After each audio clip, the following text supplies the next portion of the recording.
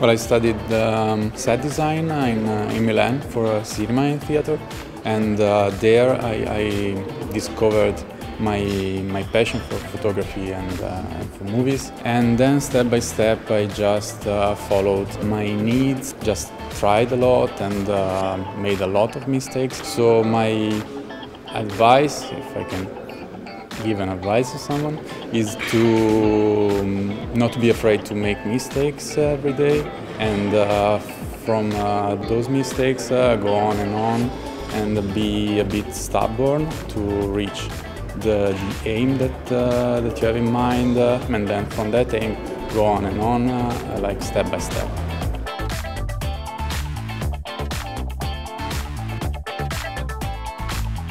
I think there is no recipe for making a movie that wins awards. I think the again, what what drove me is to make a film that is that people can relate to. I wanted to make something that, that is true to to to to experiences that that I had in the past. That is that what whatever happens in the film, I experience the feelings, and I'm I'm trying to capture those moments and and and put it add it to the character. So I'm not just like acting with with my puppet an action scene, but but I'm acting out a, a moment that I remember how I felt about, so I can transform that feeling into the puppet.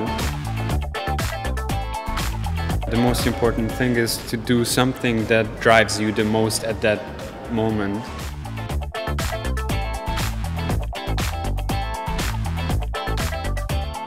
I have mostly done uh, music videos for people, but always with a lot of freedom. In the beginning, I spent a lot of time thinking about the idea and the story and, the, and what I want to tell there. And I never make a classical storyboard, but I spend a lot of time really thinking about what I want to express. And then I think that's kind of the, the frame I have. And then I improvise a lot. So I always spend a long time on projects, so it, the idea usually change and change and change, so the result is very different from what I started with, even though maybe the main idea is still there.